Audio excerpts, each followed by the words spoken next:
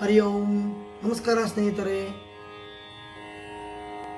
ನನ್ನ ಹೆಸರು ಶ್ರೀ ಪ್ರಹ್ಲಾದ್ ಶಾಸ್ತ್ರಿ ಲಿಂಗೋ ಜೋಶಿ, ಅರ್ಚಕರು ಶ್ರೀ ಮಾರುತಿ ದೇವಸ್ಥಾನ, ಗಾಂಧಿನಗರ್, ಗೋಕುಲ್ ರಸ್ತೆ ಹುಬ್ಬಳ್ಳಿ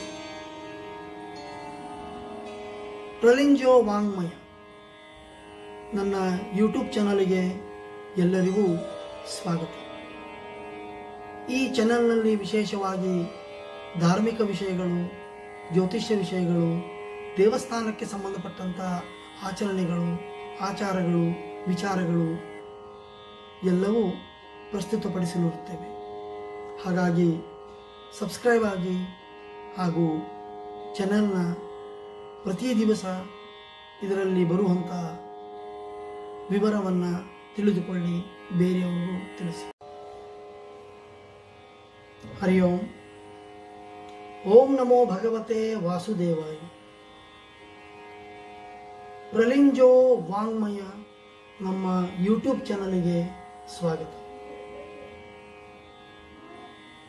ಶ್ರೀ ವಿಷ್ಣು ಸಹಸ್ರನಾಮ ಪಠಿಸಿದರೆ ಸಾವಿರ ಪ್ರಯೋಜನ. ಆದರೆ ಪಠಿಸೋದು ಹೇಗೆ? ಪ್ರಯೋಜನವನ್ನು ಪಡೆಯುವುದು ಹೇಗೆ? ಬನ್ನಿ ವಿಸ್ತಾರವಾಗಿ ಇಂದು ತಿಳಿದುಕೊಳ್ಳೋಣ.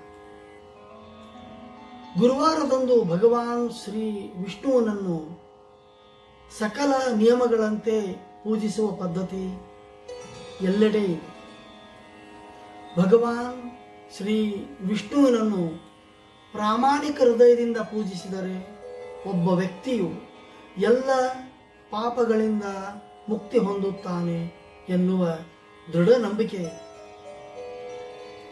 ಈಗಾಗಲೇ ಚಾತುರ್ಮಾಸ ಆರಂಭಗೊಂಡಿದ್ದು. ಈ ನಾಲ್ಕು ತಿಂಗಳಲ್ಲಿ ಪೂಜೆ, ಜಪ, ತಪಸ್ಸು, ಸಾಧನೆಗೆ ವಿಶೇಷ ಮಹತ್ವವಿದೆ ಹಾಗೂ ಅವಕಾಶವೂ ಇದೆ.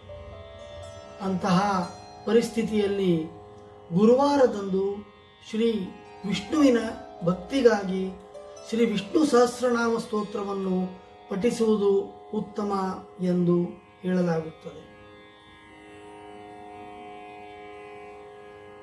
ಈ ವಿಶೇಷ ಪಾರಾಯಣವನ್ನು ಸರಿಯಾದ ವಿಧಾನ ಮತ್ತು ನಿಯಮಗಳೊಂದಿಗೆ ಮಾಡಿದರೆ ಶ್ರೀಹರಿಯ ಕೃಪೆಯಿಂದ ಜೀವನದಲ್ಲಿ ಎದುರಾಗುವ ಎಲ್ಲ ಸಮಸ್ಯೆಗಳಿಂದ ಕ್ಷಣ ಮಾತ್ರದಲ್ಲಿ ಮುಕ್ತಿ ದೊರೆಯುತ್ತದೆ. ಶ್ರೀ ವಿಷ್ಣು ಸಹಸ್ರನಾಮದ ಬಗ್ಗೆ ಬಹುತೇಕರು ಹೇಳಿರುತ್ತಾರೆ. ಆದರೆ ಅದರಿಂದ ಏನು ಉಪಯೋಗ ಎಂಬುದು ಕೇವಲ ಕೆಲವರಿಗೆ ಮಾತ್ರ ಗೊತ್ತು. ಇದನ್ನು ಪ್ರತಿದಿನ ಪಠಿಸುವುದರಿಂದ ಅನೇಕ ಪ್ರಯೋಜನಗಳಿದ್ದು ಜೀವನದಲ್ಲಿ ಏಳಿಗೆ ಕಾಣುತ್ತಾ ಹೋಗಬಹುದಾಗಿದೆ. ನಿಮ್ಮ ಕೈಗೂಡದ ಕನಸುಗಳು ನನಸಾಗುತ್ತವೆ. ಇದಕ್ಕಾಗಿ ಏಕಾಗ್ರತೆಯಿಂದ ಪ್ರತಿದಿನ ಜಪ ಮಾಡಬೇಕಷ್ಟೆ. ಹೀಗಾಗಿ ಈ ಜಪನಾಮವನ್ನು ದಿನವೂ ಪಠಿಸುವುದರಿಂದ ಏನೆಲ್ಲ ಅನುಕೂಲಗಳಾಗುತ್ತವೆ ಎಂಬುದರ ಬಗ್ಗೆ ಇವತ್ತು ತಿಳಿದುಕೊಳ್ಳೋಣ. ಸ್ನೇಹಿತರೆ, ಅಂದುಕೊಂಡಿದ್ದು ನೆರವೇರುತ್ತಿಲ್ಲ, ಯಾವ ಕೆಲಸವೂ ಕೈ ಹಿಡಿಯುತ್ತಿಲ್ಲ, ಹಣೆ ಬರವೇ ಸರಿ ಇಲ್ಲ. ಹೀಗೆಲ್ಲ ಅಂದುಕೊಂಡು ನಾವು ಸುತ್ತದ ದೇವಸ್ಥಾನಗಳಿಂದ ಸಂಧಿಸದ ಜ್ಯೋತಿಷ್ಯಗಳಿಲ್ಲ ಕೆಲವರು ಇದಕ್ಕಾಗಿ ತುಂಬ ಬೇಸರಿಸಿಕೊಳ್ಳುವುದೂ ಉಂಟು. ಆದರೆ ಇದಕ್ಕೆ ಸೂಕ್ತ ಪರಿಹಾರ ಇಲ್ಲವೇ ಎಂದು ಕೆಲವರು ಅಂದುಕೊಳ್ಳುವುದೂ ಉಂಟು. ಶ್ರೀ ವಿಷ್ಣು ಸಹಸ್ರನಾಮವೇ ಇದಕ್ಕೆ ಉತ್ತರ ಎಂದು ಹಲವರು ಮಹಾಪುರುಷರು ಕಂಡು ಹಿಡಿದುಕೊಂಡಿದ್ದಾರೆ. ಜೀವನದಲ್ಲಿ ಒಂದು ದೃಢ ಸಂಕಲ್ಪದಿಂದ ಇದನ್ನು ಪಠಿಸುತ್ತಿದ್ದೀರೆಂದರೆ ಬೇರೆ ಯಾವುದೇ ಪರಿಹಾರೋಪಾಯಗಳ ಅವಶ್ಯಕತೆ ಇರುವುದಿಲ್ಲ. ಅತ್ಯಂತ ಪ್ರಭಾವಶಾಲಿ ನಾಮಜಪ ಇದಾಗಿದ್ದು ಇದನ್ನು ದಿನವೂ ಪಠಿಸಿದರೆ ತುಂಬ ಒಳ್ಳೆಯದಾಗಲಿದೆ. ಹಾಗಾದರೆ ಇದರ ಬಗ್ಗೆ ಒಂದು ವಿಶೇಷ ದೃಷ್ಟಿಕೋನವನ್ನ ಹರಿಸೋಣ ಬನ್ನಿ. ಶರಪಂಜರ ಮೇಲೆ ಮಲಗಿದ್ದ ಭೀಷ್ಮನ ಬಳಿ ಧರ್ಮರಾಜ ಹೀಗೆ ಕೇಳುತ್ತಾನೆ, ಎಲ್ಲರಿಗೂ ಸರ್ವೋಚ್ಚ ಆಶ್ರಯ ಕೊಡುವವನು ಯಾರು? ಅವನಿಗಿಂತ ಶಾಂತಿ ಸಿಗಬೇಕು. ಎಲ್ಲ ಭವಸಾಗರದ ಕಷ್ಟಗಳಿಂದ ಮುಕ್ತಿ ಸಿಗಲು ಯಾರ ಮೊರೆ ಹೋಗಬೇಕು ಎಂಬ ಬಗ್ಗೆ ನನಗೆ ಹೇಳಿ ಎಂದು ಕೇಳಲಾಗಿ ಆಗ ಭೀಷ್ಮಾಚಾರ್ಯರು ಹೀಗೆ ಹೇಳುತ್ತಾರೆ, ಇದಕ್ಕೆಲ್ಲ ಪರಿಹಾರವೆಂದರೆ ಶ್ರೀ ವಿಷ್ಣು. ಹಾಗಾಗಿ ಶ್ರೀ ವಿಷ್ಣು ಸಹಸ್ರನಾಮ ಜಪಿಸಿದರೆ ಎಲ್ಲ ಸಂಕಷ್ಟಗಳು ದೂರವಾಗಿ ನೆಮ್ಮದಿ, ಜಯ ಲಭಿಸುತ್ತದೆ ಎಂದು ಹೇಳುತ್ತಾರೆ. ಆದಿ ಜಗದ್ಗುರು ಶ್ರೀ ಶಂಕರಾಚಾರ್ಯರು ಹೇಳಿದ್ದಾರೆ. ವಿಷ್ಣು ಸಹಸ್ರನಾಮದಲ್ಲಿ ಅದರ ಉಪಯೋಗದ ಬಗ್ಗೆ ಜಗದ್ಗುರು ಶಂಕರಾಚಾರ್ಯರು ಇದರ ಸ್ವಯಂ ಉಪಯೋಗ ಪಡೆದು ಟಿಪ್ಪಣಿಯನ್ನು ಬರೆದಿದ್ದಾರೆ. ಹಲವಾರು ವಿದ್ವಾಂಸರು ಸಹ ಈ ಬಗ್ಗೆ ಹೇಳಿಕೊಂಡಿದ್ದು ಕಲಿಯುಗದಲ್ಲಿ ಶ್ರೀ ವಿಷ್ಣು ಸಹಸ್ರನಾಮವನ್ನು ಏಕಾಗ್ರತೆಯಿಂದ ಓದಿದವರಿಗೆ ಎಲ್ಲ ಕಷ್ಟಗಳನ್ನು ನಿವಾರಿಸುವ ಶಕ್ತಿ ಇದೆ. ಯಾವುದೇ ಕಾರಣಕ್ಕೂ ಪರಿಹಾರಕ್ಕಾಗಿ ಬೇರೆಡೆ ಅಲೆಯುವ ಪ್ರಮೆ ಬರುವುದಿಲ್ಲ. ಇದಕ್ಕಾಗಿ ಮನೆಯಲ್ಲಿ ಅಲ್ಪ ಸಮಯ ಮೀಸಲಿಟ್ಟು ಓದಬೇಕಷ್ಟೇ ಎಂಬುದನ್ನು ಸಲಹೆ ನೀಡುತ್ತಾರೆ. ಏಕಾಗಿ ಈ ಜಪ ಪಠಿಸಬೇಕು.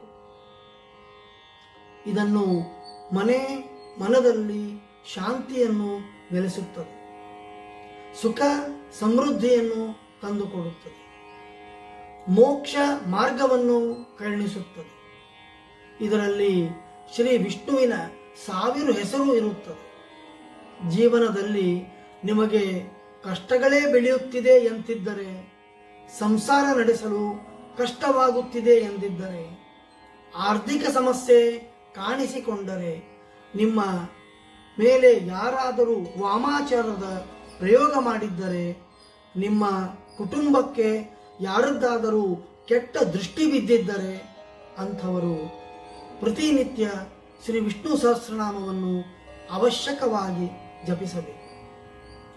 ಶ್ರೀ ವಿಷ್ಣು ಸಹಸ್ರನಾಮ ಪಠಿಸುವುದರಿಂದ ಆಗುವ ಅನೇಕ ಉಪಯೋಗಗಳು.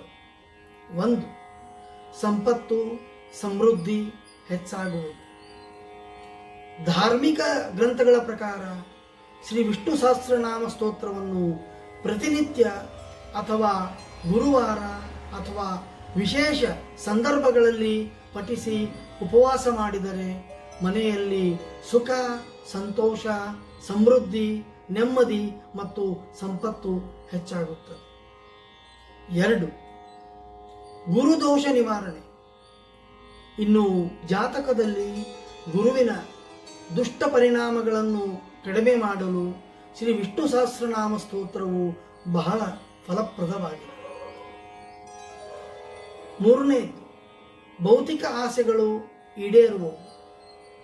ವಿಷ್ಣು ಸಹಸ್ರನಾಮದಲ್ಲಿ ವಿಷ್ಣುವಿನ ಒಂದು ಸಾವಿರ ಹೆಸರುಗಳನ್ನು ವಿವರಿಸಲಾಗಿದೆ. ಇದನ್ನು ಪಠಣ ಮಾಡುವುದರಿಂದ ವ್ಯಕ್ತಿಯ ಭೌತಿಕ ಆಸೆಗಳನ್ನು ಪೌರೈಸಲಾಗುತ್ತದೆ ಹಾಗೂ ಪ್ರತಿಯೊಂದು ಕಾರ್ಯದಲ್ಲಿಯೂ ಯಶಸ್ಸು ಪಡೆದುಕೊಳ್ಳಬಹುದಾಗಿದೆ. ನಾಲ್ಕು, ಭಯದಿಂದ ಮುಕ್ತಿ. ಪ್ರತಿದಿನ ಶ್ರೀ ವಿಷ್ಣು ಸಹಸ್ರನಾಮ ಪಾರಾಯಣ ಅಥವಾ ಪಠಣ ಮಾಡುವುದರಿಂದ, ಕೇಳುವುದರಿಂದ ಭಯ ದೂರವಾಗುತ್ತದೆ ಮತ್ತು ಗುರಿಯನ್ನು ಸಾಧಿಸುವ ಶಕ್ತಿ ಬರುತ್ತದೆ ಎಂದು ಪ್ರಬಲವಾಗಿ ನಂಬಲಾಗಿದೆ. ಐದು ಆತ್ಮವಿಶ್ವಾಸ ಹೆಚ್ಚಿಸುವುದು. ಪ್ರತಿದಿನ ಶ್ರೀ ವಿಷ್ಣು ಸಹಸ್ರನಾಮವನ್ನು ಪಠಿಸುವುದರಿಂದ ಆತ್ಮವಿಶ್ವಾಸವು ಹೆಚ್ಚುತ್ತದೆ, ಮನಸ್ಸು ಏಕಾಗ್ರತೆಯಿಂದ ಇರುತ್ತದೆ, ಒತ್ತಡ ನಿವಾರಣೆಯಾಗುತ್ತದೆ. ಆರು, ಅದೃಷ್ಟವನ್ನು ತರುವುದು. ಶ್ರೀ ವಿಷ್ಣು ಸಹಸ್ರನಾಮದ ನಿಯಮಿತ ಪಠಣವು ಮನೆಯಲ್ಲಿ ಅದೃಷ್ಟ ಮತ್ತು ಸಂತೋಷವನ್ನು ತರುತ್ತದೆ. ಹಣಕಾಸಿನ ವಿಷಯದಲ್ಲಿ ಸದೃಢತೆಯನ್ನು ತರುತ್ತದೆ. ವಿಷ್ಣು ಸಹಸ್ರನಾಮ ಪಾರಾಯಣ ಮಾಡುವ ವಿಧಾನ. ಒಂದು, ಶ್ರೀ ವಿಷ್ಣು ಸಹಸ್ರನಾಮ ಪಠಿಸುವ ಸಮಯ. ಈ ಪಾರಾಯಣವನ್ನು ಸೂರ್ಯೋದಯದ ಸಮಯದಲ್ಲಿ ಮಾಡುವುದು ಉತ್ತಮ. ಆದರೂ ಇದನ್ನು ದಿನದ ಯಾವುದೇ ಸಮಯದಲ್ಲಿ ಮಾಡಬಹುದು. ಇದರಲ್ಲಿ ದೇಹ ಮತ್ತು ಮನಸ್ಸಿನ ಶುದ್ಧತೆಯ ಬಗ್ಗೆ ವಿಶೇಷ ಕಾಳಜಿ ವಹಿಸಬೇಕು ಎರಡು, ಪಾರಾಯಣಕ್ಕೂ ಮುನ್ನ ಪೂಜೆ. ಸ್ನಾನದ ನಂತರ ಶ್ರೀ ವಿಷ್ಣು ಮತ್ತು ಮಾತಾ ಲಕ್ಷ್ಮಿಯನ್ನು ಆವಾಹನೆ ಮಾಡಿ ಸರಿಯಾಗಿ ಪೂಜಿಸಿ ನಂತರ ಪಾರಾಯಣವನ್ನು ಪ್ರಾರಂಭಿಸಿ. ಮೂರು, ಇದು ಅತಿ ಮುಖ್ಯ. ವಿಶೇಷ ಇಷ್ಟಾರ್ಥಗಳ ನೆರವೇರಿಕೆಗಾಗಿ ಸ್ನಾನದ ನಂತರ ಹಳದಿ ಬಟ್ಟೆಗಳನ್ನು ಧರಿಸಿ, ಪೂಜಾ ಸ್ಥಳದಲ್ಲಿ ನೀರು ತುಂಬಿದ ಕಲಶವನ್ನು ಇರಿಸಿ, ನೀರಿನ ಕಲಶವಿಲ್ಲದೆ ಈ ಪಾರಾಯಣ ಮಾಡುವುದು ಅಪೂರ್ಣವೆಂದು ಪರಿಗಣಿಸಲಾಗಿದೆ. ನಾಲ್ಕನೇದು ಪಠಣದ ಕೊನೆಯಲ್ಲಿ ಇದನ್ನು ತೆಗೆದುಕೊಳ್ಳಲು ಮರೆಯದಿರಿ. ನೀರು ತುಂಬಿದ ಕಲಶದ ಮೇಲೆ ಮಾವಿನ ಎಲೆ ಮತ್ತು ತೆಂಗಿನಕಾಯಿಯನ್ನು ಇರಿಸುವ ಮೂಲಕ ಪಠಣವನ್ನು ಪ್ರಾರಂಭಿಸಿ. ಪಠಣದ ಕೊನೆಯಲ್ಲಿ ವಿಷ್ಣುವಿಗೆ ಅರ್ಪಿಸಿದ ಹಳೇರಿ ಭೋಗವನ್ನು ಪ್ರಸಾದವಾಗಿ ತೆಗೆದುಕೊಳ್ಳಬೇಕು. ಶ್ರೀ ವಿಷ್ಣು ಸಹಸ್ರನಾಮವನ್ನು ಪಠಿಸುವಾಗ ಶುದ್ಧತೆಗೆ ಹೆಚ್ಚಿನ ಮಹತ್ವವನ್ನು ನೀಡಬೇಕು. ನಿಮಗೆ ವಿಷ್ಣು ಸಹಸ್ರನಾಮವನ್ನು ಪಠಿಸಲು ಸಾಧ್ಯವಾಗದಿದ್ದರೆ ಗುರುವಾರದಂದು ಅಥವಾ ವಾರದ ಯಾವುದೇ ದಿನವಂದು ಕೂಡ ನೀವು ಇದನ್ನು ಪಠಿಸಬಹುದು. ಇನ್ನು ಶ್ರೀ ವಿಷ್ಣು ಸಹಸ್ರನಾಮದ ಪ್ರಮುಖ ಅನುಕೂಲಗಳು. ಶ್ರೀ ವಿಷ್ಣು ಸಹಸ್ರನಾಮ ಓದುತ್ತಿರುವರ ಜಾತಕದ ಮೇಲೆ ಭಗವಂತನ, ಅದ ವಿಷ್ಣು ಹಾಗೂ ಶಿವ ಇಬ್ಬರ ವಿಶೇಷ ಕೃಪೆ ಇರುತ್ತದೆ. ಇದು ಜಾತಕದಲ್ಲಿ ಒಳ್ಳೆಯ ಪ್ರಭಾವ ಬೀರಿ ಮತ್ತಷ್ಟು ಶಕ್ತಿಯುತವಾಗಿ ಮಾಡುತ್ತದೆ. ನೀವು ಯೋಚನೆಗಳನ್ನು ಹಾಕಿಕೊಂಡಿದ್ದರೆ ಅದು ಕೈಗೂಡಲು ಸಹಾಯಕ ಮಾಡುತ್ತದೆ ನಿಮ್ಮ ಮೇಲೆ ಯಾವುದಾದರೂ ಕೆಟ್ಟ ದೃಷ್ಟಿ ಬಿದ್ದಿದ್ದರೆ ಅದರಿಂದ ರಕ್ಷಣೆ ಮಾಡುತ್ತದೆ ನಿಮ್ಮನ್ನು ಯಾವಾಗಲೂ ರಕ್ಷಿಸುತ್ತಲೇ ಇರುವ ಈ ಜಪನಾಮ ರಕ್ಷಾ ಕವಚವಾಗಿ ಕೆಲಸ ಮಾಡಲಾಗಿದೆ. ಭಗವಾನ್ ವಿಷ್ಣುವಿನನ್ನು ಪಾಲಕ ಎಂದು ಕರೆಯಲಾಗುತ್ತದೆ. ಶ್ರೀ ವಿಷ್ಣು ಸಹಸ್ರನಾಮವನ್ನು ಪಠಿಸುವುದರಿಂದ ಸಂಸಾರದಲ್ಲಿ ಸುಖ, ನೆಮ್ಮದಿ ನೆಲೆಸುತ್ತದೆ. ವಿವಾಹಿತ ಸ್ತ್ರೀ ಶ್ರೀ ವಿಷ್ಣು ಸಹಸ್ರನಾಮ ಪಠಿಸಿದರೆ ಸಂತಾನ ಪ್ರಾಪ್ತಿಯಾಗುತ್ತದೆ. ಪರಿವಾರದಲ್ಲಿ ಕಲಹಗಳಿದ್ದರೆ ನಿವಾರಣೆಯಾಗುತ್ತದೆ. ಸುಖ, ಶಾಂತಿ ವೃದ್ಧಿಯಾಗುತ್ತದೆ. ಕೋರ್ಟ್ ಕೇಸ್, ವಾದ ನಿಮ್ಮಂತೆ ಆಗುತ್ತದೆ ಆರೋಗ್ಯ ಉತ್ತಮಗೊಳ್ಳುತ್ತದೆ. ಬುದ್ಧಿವಂತನಾಗುತ್ತಾರೆ, ರೂಪವಂತರಾಗುತ್ತಾರೆ, ಕೀರ್ತಿವಂತರಾಗುತ್ತಾರೆ. ಇದರಲ್ಲಿ ಸಂಶಯವಿಲ್ಲವೆಂದು ಭಗವಾನ್ ವಾಸುದೇವ ಶ್ರೀಕೃಷ್ಣ ಹೇಳುತ್ತಾನೆ ಹಾಗಾಗಿ ದಯವಿಟ್ಟು ಎಲ್ಲರೂ ದೃಢ ಮನಸ್ಸಿನಿಂದ ವಿಷ್ಣು ಸಹಸ್ರನಾಮವನ್ನು ಪಾರಾಯಣ ಮಾಡಿ. ಇದು ಪ್ರಾರಂಭಕ್ಕೆ ಪಠಿಸಲು ಕಷ್ಟವೆನಿಸಿದರೆ ಯಾರತ್ರಾದರೂ ಅದರ ಉಪದೇಶವನ್ನು ತೆಗೆದುಕೊಂಡು ಅವರಿಂದ ಹೇಳಿಸಿಕೊಂಡು ನಂತರ ಶ್ರವಣದಿಂದ ಪಾರಾಯಣ ಮಾಡಿ ಪ್ರತ್ಯಕ್ಷ ಭಗವಾನ್ ವಿಷ್ಣುವಿನ ಕೃಪೆಗೆ ಪಾತ್ರರಾಗಿ. ಓಂ ನಮೋ ನಾರಾಯಣ